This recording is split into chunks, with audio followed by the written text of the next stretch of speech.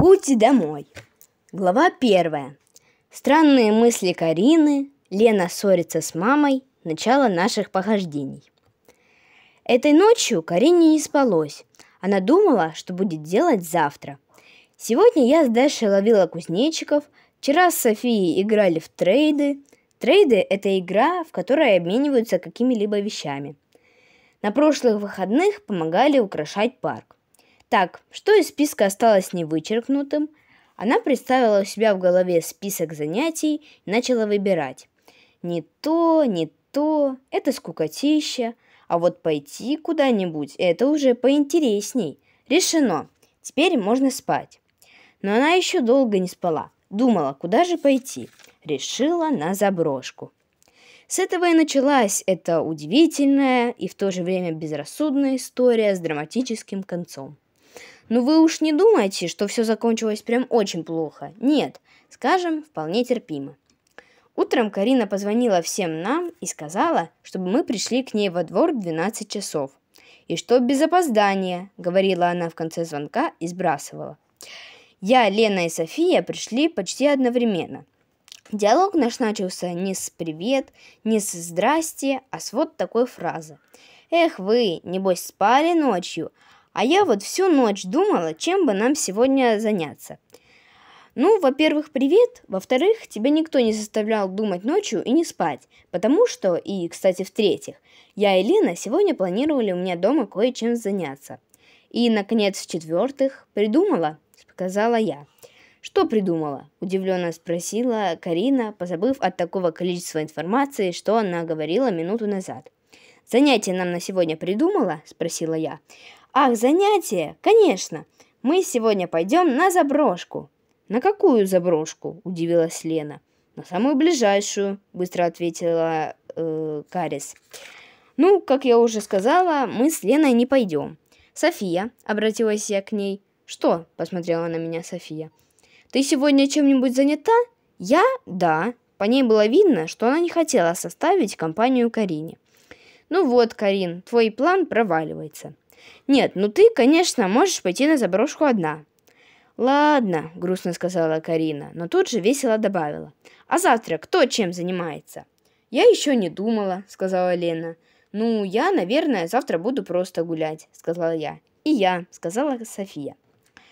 Тогда предлагаю завтра сходить куда-нибудь подальше от дома. Куда именно? недоверчиво спросила я. Ну, думаю, все-таки на заброшку. Только не на ближайшую, а которая подальше. Ох, Каринка, ладно уж, сегодня обещаю мама спросить. И я, сказала Лена. Ну и я, сказала София. Только вы не говорите, что именно на заброшку мы пойдем. Просто гулять. Мы разошлись. Кстати, думаю, вам интересно, чем мы с Леной занимались. Я поймала у себя дома муху и поместила в маленькую колбочку. Ну, она там сдохла. Только прошу меня не винить. А у меня было два микроскопа. Один детский, другой мини-микроскоп. Мы решили посмотреть муху через оба микроскопа. Через детский мы, ясное дело, толком ничего не увидели, а через мини-микроскоп уже было лучше видно.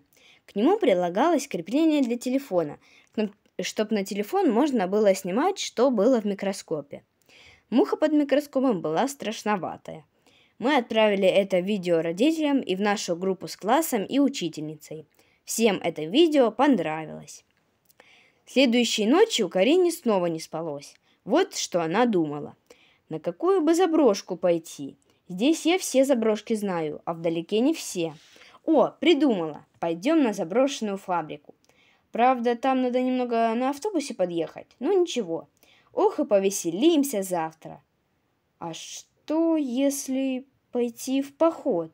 Да ну, что я такое говорю? То есть не говорю, а думаю.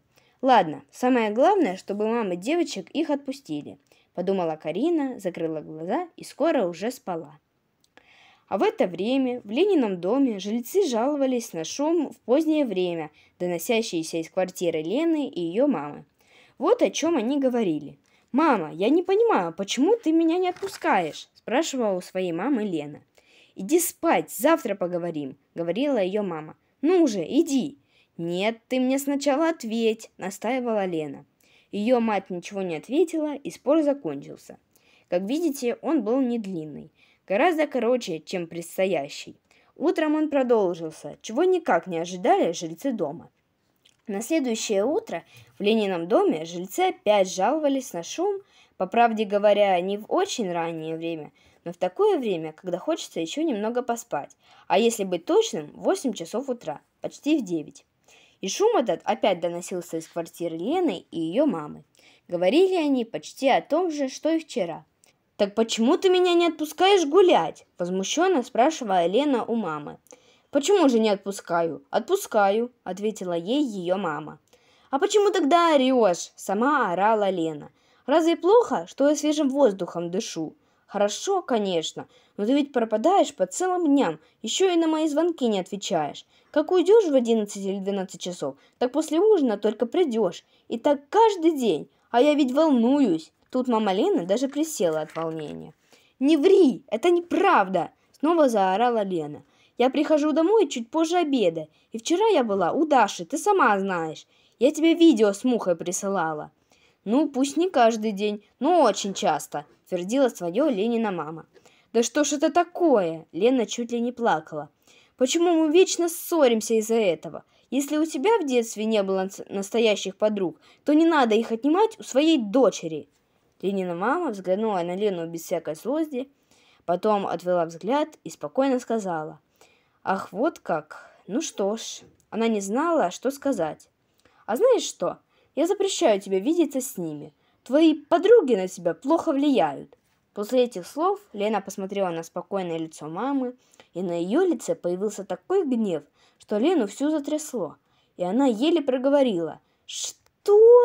«Что слышала?» — ответила Ленина мама, и на ее лице, как показалось средней, появилась зловещая улыбка.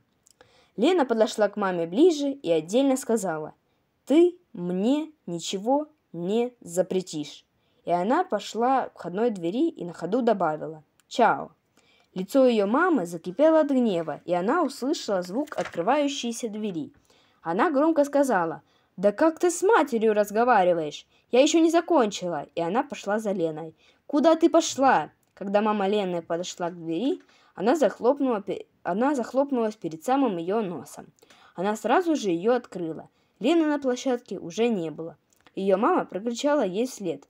«Сейчас же вернись!» Не дождавшись никого и ничего, она закрыла дверь и уже не прокричала, а сказала сама себе.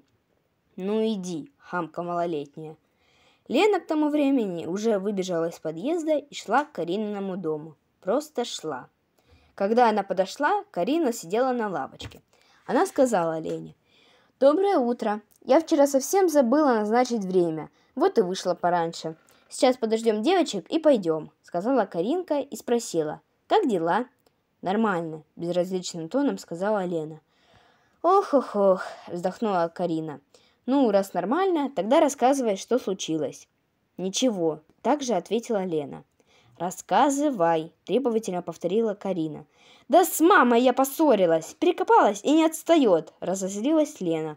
«А чего это ты орешь? Я в чем виновата?» – разозлилась и Каринка.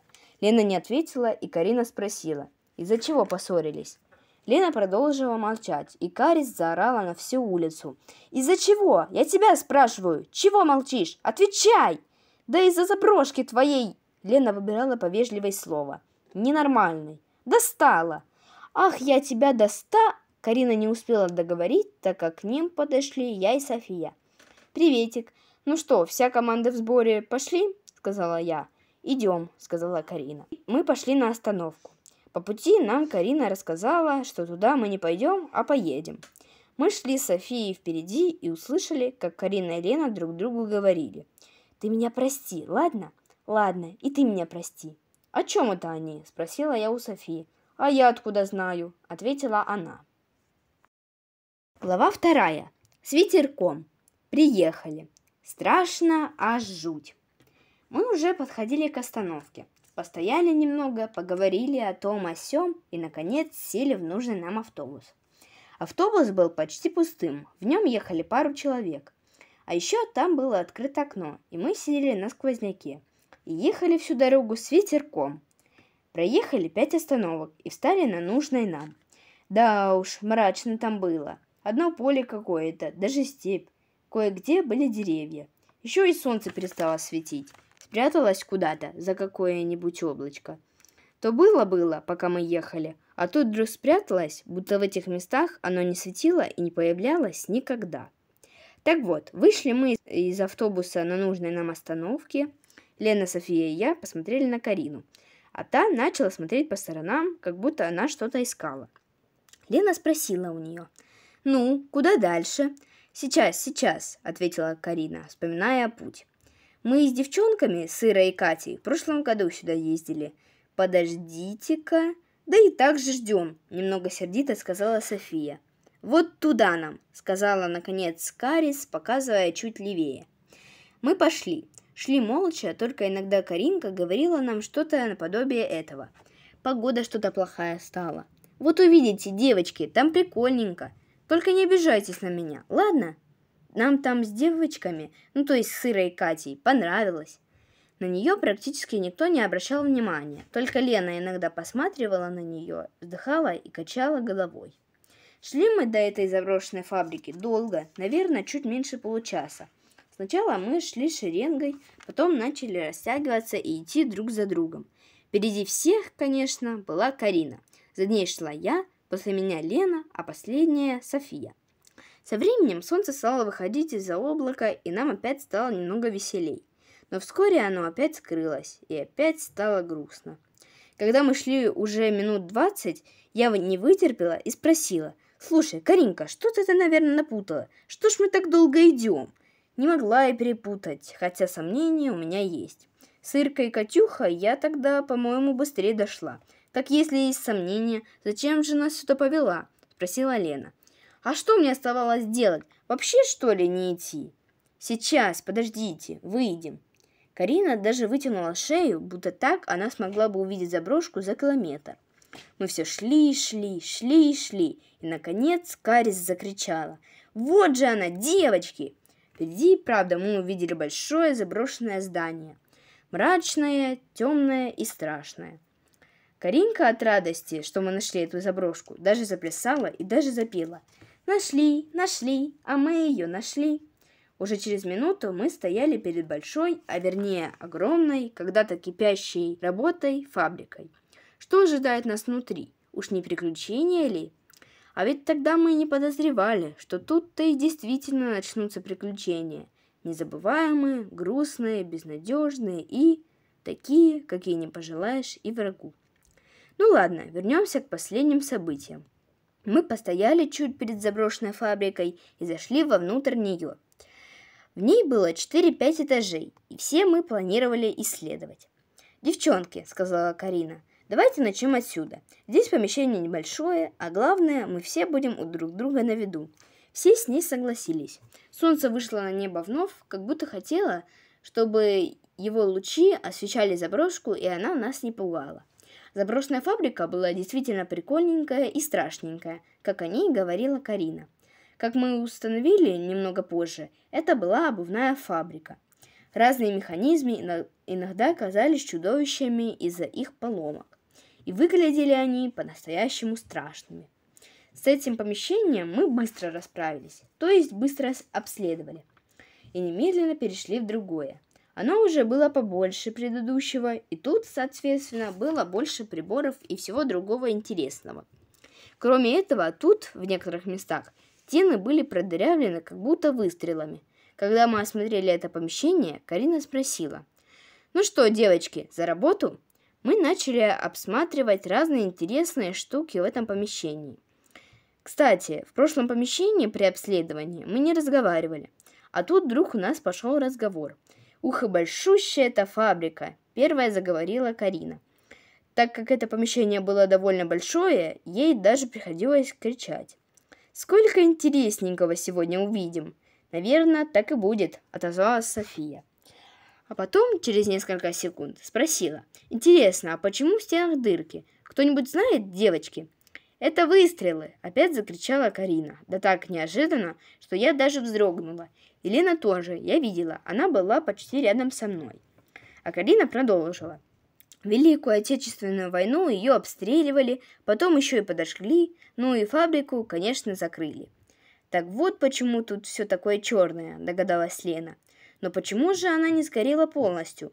И почему она все так же стоит тут, добавила я. На первый вопрос ответа не знает, пожалуй, никто. А на второй тоже не знают. Хотя почему не знают? Знают. Просто лень государству, и все тут, сказала Карина. Ты на государство не гони, сказала я ей. А что, если это так и есть? Поддержала Каринку София.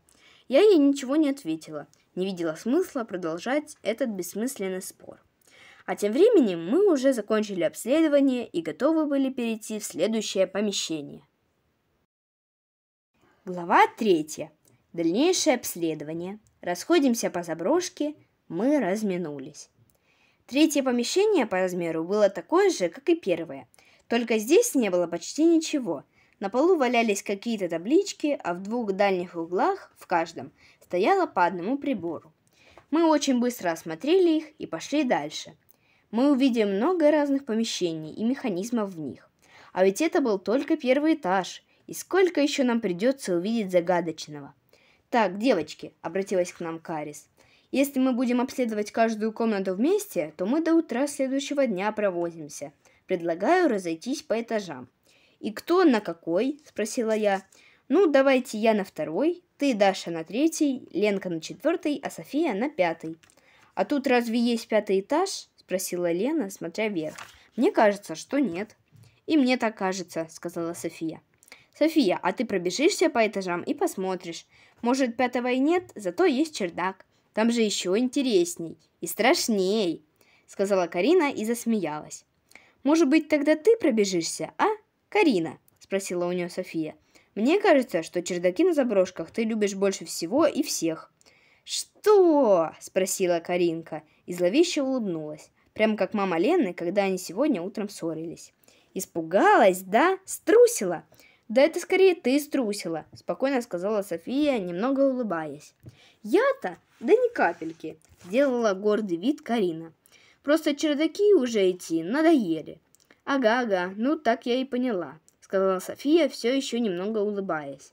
Что, не веришь? Да я правду говорю. Все, все, все, все, перебила ее София. Хватит уже спорить. Под... Пойду я на ваш чердак. Так уж и быть. Она действительно пошла к лестнице. А может, тут и нет вовсе чердака. Это же Карина придумала, сказала она, обернувшись, и пошла дальше, на свой пятый этаж или чердак. И мы пойдем, сказала я, э, когда Софию не стало видно на лестнице. Карина и Лена кивнули. Каждая из нас пошла на свой этаж. Кстати, как потом нам сказала София, чердака на фабрике не было, а пятый этаж был. Через минут 15 с того момента, как мы начали обследовать этажи, я, Лена и София услышали Каринкин крик. Только, конечно, Лена и София услышали тихий крик, а я громкий, так как я была ближе всех к Карине. Она просто прокричала а, И больше никаких звуков не было. Хотя мне показалось, что кто-то бежал. Я крикнула так громко, насколько могла. «Карина, с тобой все в порядке?» Никакого ответа. Я опять. «Каринка, не пугай нас!» Подождала немного и добавила. Если это шутка, то она дурацкая. Никто не ответил снова. Теперь я прокричала девочкам. «Лена, София, я спущусь на второй этаж, посмотрю, что там с Кариной». «Мы с тобой пойдем», — отозвалась Лена, крича изо всех сил. «Оставайтесь там, я быстро», — проорала им я и побежала к лестнице. Когда я спустилась на второй этаж, я опять позвала Карину. Никто мне не ответил, и я начала бежать по всему этажу и все так же звать Карину. Ее я там не нашла. Я подошла к лестнице, взглянула наверх. Там я увидела лица Лены и Софии. «Девочки, ее здесь нет!» – опять же заорала я. «Я еще поищу Карину на первом этаже и вокруг заброшки. Может, тебе помочь?» – еле слышно спросила София. «Нет, не нужно!» Я побежала вниз. На первом этаже я опять везде заглядывала и звала Карину. На улице тоже, но никто мне не отвечал. А случилось вот что. Карина обследовала себе спокойно свой второй этаж, как вдруг увидела змею. Скорее всего, это был уж, как потом нам рассказала Карина. Хоть Карина была и не робкого десятка, но она испугалась. А вскрикнула она вовсе не за змеи, а потому что на нее чуть не налетела какая-то птица, как она выразилась сама. Карина испугалась еще больше, вскрикнула и побежала прочь из заброшки. Побежала, куда глаза глядят. Опомнилась она только тогда, когда добежала до какой-то посадки. Она достала телефон, но он у нее не включился. Я выбежала на улицу и опять начала звать Карину. И вдруг мне показалось, что меня позвали девочки. «Даша, идем!» Я побежала, сама этого не понимая. Лена и София также стояли на лестнице. Лена хотела сказать Софии, я пойду к Даше, но почему-то не сказала. Она последний раз посмотрела на Софию, которая куда-то смотрела, и пошла на улицу. Лена шла все дальше и дальше, а София оставалась в заброшке. Я шла и шла, и вдруг увидела остановку. Я присела на лавочку и хотела посмотреть время. Тут увидела, что мой телефон начал садиться. И вдруг с серого-серого неба на экран телефона упала капля. Глава четвертая. Ливень в поле. Я ищу укрытие. Беспокойство Карины и Софии. Я посмотрела на небо. Упало еще несколько капель и полил настоящий ливень. Да еще и такой противный. Как назло, он был холодный и сильный, совсем не похожий на летний. Оставаться на остановке я больше не могла – ведь у нее, опять как назло, не было крыши. Даже если бы я осталась ждать автобус, как же я поехала без девочек? Поэтому я пошла от нее подальше. Теперь мне она не нужна. Сейчас мне нужно найти какое-нибудь укрытие с крышей и как можно скорее. Выбор у меня был небольшой. Либо возвращаться на заброшку, либо найти еще какую-нибудь, либо же дойти до небольшого поселка, который был поблизости. Последний вариант почти сразу же отпал – идти до поселка хоть минут десять, но дождь был сильным и холодным, как я уже упоминала раньше. Я уже вся промокла и продрогла. Я попыталась вспомнить дорогу к заброшенной фабрике. Хотя что там было вспоминать? Идешь прямо себе и пришел. Но не очень вспоминалось. Я пошла наугад, на удачу. Шла, а вернее бежала я минут пять, как вдруг увидела несколько маленьких зданий, похожих на уличные туалеты в деревне. «Ну, если что, буду сидеть здесь. Пока что», — сказала я и зашла в одно из укрытий. Это были не туалеты, а обычные маленькие здания, потому что там, в полу, не было дырки. Я зашла и прикрыла за собой дверь, оставив небольшую щелку. Дождь до сих пор лил. Конечно, очень плохо, что я намокла, но я всю дорогу держала над головой свой рюкзак и теперь надеялась, что не заболею. Я облокотилась на одну из стен и стала думать о девочках. А вот что тем временем происходило у девочек, точнее у Карины. Как я написала в прошлой главе, она остановилась возле посадки, отдышалась, хотела позвонить кому-нибудь из нас, но телефон у нее был полностью разряжен. Карина точно помнила, что она утром заряжала телефон. Хоть у нее и было 20%, но она в него ни разу не заходила сегодня. Каринка вспомнила, что в таких глухих местах, где мы сейчас находимся, быстро разряжается телефон – сам по себе. Поэтому она вздохнула, положила телефон в свой рюкзак и осмотрела посадку. Она зашла в нее и, смотря по сторонам, пошла дальше. Но не прошла Карина и 10 метров, как обернулась и решительно пошла обратно, при этом приговаривая. И чего я испугалась? Уже какого-то и птички. А вот и фабрика заброшенная виднеется. Отошла Карина совсем немного от посадки. И вдруг полил знакомый нам уже ливень. Она посмотрела на небо, потом на посадку, потом на заброшку вдалеке, потом опять на посадку и побежала к ней. «Нет уж, лучше тут постоять. Такой дождь полил», — сказала Карина, когда добежала до посадки. Здесь ей нечего бояться. Деревья плотно прижали свои ветки к другим, и вода через них не проникала. Карине оставалось только ждать, когда закончится дождь. София все так же стояла около лестницы в заброшенной фабрике, облокотившись на перила и глядя куда-то вдаль. Так она стояла уже минут пять, все время неподвижно. София глубоко задумалась. Конечно, она не видела и не слышала, как ушла Лена, и еще не знала, что она осталась в заброшке одна. Наконец София перевела взгляд в какое-то другое место – она чуть перегнулась через перила и посмотрела на то место, где еще совсем недавно стояла Лена, и сказала, что-то Даши София не договорила, потому что Лены возле лестницы не было. Она смотрела туда еще минуту, а потом начала звать Лену. «Лена! Лена, ты где?» Ответа не было. «Ну вот, где она?» И София побежала по лестнице на четвертый этаж. Еще не хватало, чтоб Лена ушла. Она позвала Лену еще раз, Потом спустилась на третий этаж и позвала еще раз. На втором и первом этаже сделала то же самое. Никто не отозвался. София растерянно спросила сама у себя. «Я что, осталась одна?» Она подумала-подумала и побежала на улицу. София еще долго ходила вокруг заброшки. Находила, наверное, целый километр, так как прошла на больше десяти кругов, а заброшенная фабрика, как я уже говорила, была огромной. В конце концов, София упала на траву от усталости рядом со входом в фабрику. И тут она вспомнила, что у нее есть телефон. Как же она могла про него забыть? София быстро достала телефон из сумки и, включив его, увидела уведомление о том, что у нее осталось меньше 20%. Как же так? Ведь она еще вчера вечером зарядила телефон полностью. Вскоре София подумала о том же, о чем и Карина, когда у нее не включился телефон. Она все-таки попыталась позвонить нам, но у Карины телефон вообще был выключенный, а с Леной и со мной у Софии не было связи, так как тут было глухое место, это уже упоминалось. София уже полностью отчаялась и все еще лежала на земле. Тут-то и начался дождь. У Софии не было сил даже подняться, но одна мысль об Одизне, а она ведь болела часто, заставила ее не только подняться, но и немедленно зайти в заброшку – София села на уцелевший в ней стул, положила подбородок на кулак и уткнулась взглядом в пол. Она осталась совсем одна в этой глухой местности. Конечно, девочки где-то рядом, наверное, и она не совсем одна, но их же нужно найти, связи с ними нет, да и телефон скоро вообще разрядится и выключится. Как там мама, как братик, он хоть и достает меня иногда, но я все равно его люблю. Как папа. Что он не скажет, если я сегодня не приду домой? И что скажут, если приду, но без девочек?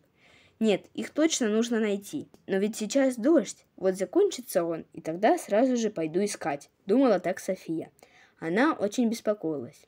Беспокоилась и Карина, сидя на пенечке в посадке.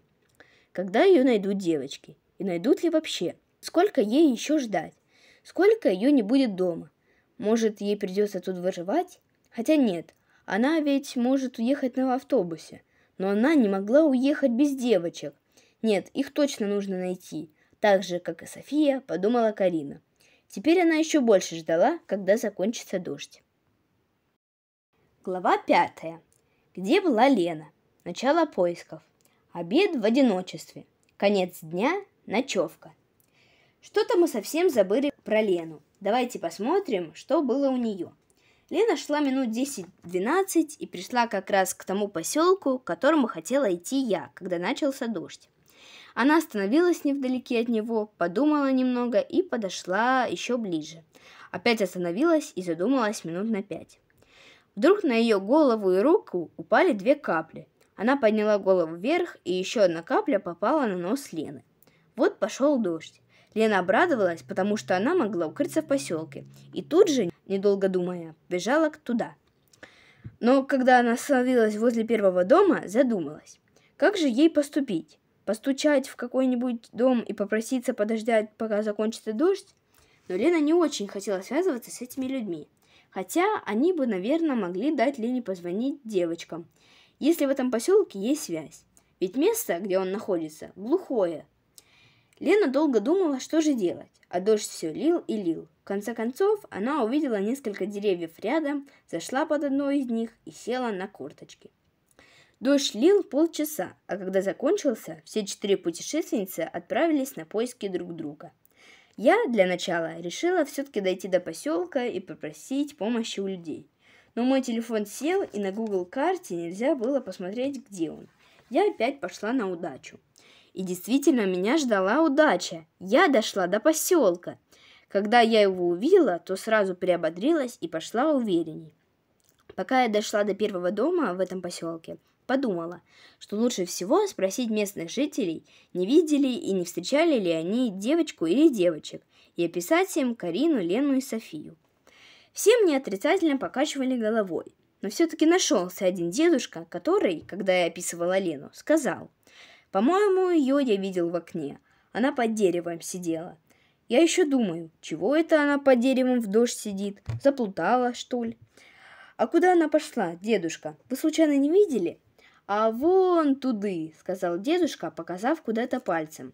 Я запомнила, куда он показал, и сказала «Спасибо вам большое, до свидания!» и скорее побежала за Леной. «Да не за что, внученька!» – прокричал мне дедушка вслед. Какие же все-таки хорошие люди есть, подумала я, когда отбежала от поселка. И тут же крикнула «Лена! Лена!» Ответа не было. Карина дремала в своей посадке на своем пенечке, а когда проснулась, тоже начала нас искать. Лена шла уже минут пятнадцать. Вокруг нее было одно поле. Она поминутно звала нас по очереди, но никто не откликался. Когда дождь кончился, София сразу же вышла из заброшенной фабрики и пошла нас искать. Тем не менее, она все равно не отходила далеко от своего укрытия, не теряла его из виду и часто возвращалась к нему. Поиски длились долго. Вскоре все мы проголодались. Если примерно считать, сколько на что мы потратили времени, то сейчас было время обеда. Никогда не пожалею, и девочки тоже, что все взяли себе какую-нибудь еду, Карина – сладкую булочку и маленькую бутылку воды. София – соломку, сок и, на всякий случай, тоже бутылку воды. Лена – два пирожка и бутылку воды, а я – три бутерброда, половину булочки и воду. Больше всего радовало то, что все взяли с собой воду. Ее нам хватит хотя бы на два дня. Обедали мы, как вы понимаете, в одиночестве. Так как неизвестно, сколько мы тут будем, каждая из нас съела совсем чуть-чуть из своей еды, чтобы набрать сил и искать, искать, искать. Поиски продолжались до вечера. Усталые, грустные, голодные, мы должны были подумать о ночевке. В открытом поле ночевать опасно и страшно, поэтому каждая из нас уже в темноте искала себе ночлег. Карина вернулась в посадку. Когда она прошла дальше, увидела много пенечков, которые были очень близко к друг другу. Карина подумала, что на такой кровати вполне можно спать. Лена опять добрела как-то до поселка. Выбрала место, где трава помягче, и легла. Она почему-то не догадалась попроситься на ночлег. София, конечно, пошла спать в свою заброшку. Ну а я нашла большой сток сена посреди поля. Вот это мне повезло. Я улеглась на него и посмотрела на небо. Подумала о девочках, да и заснула. Большое спасибо за просмотр. Вторая часть уже очень скоро.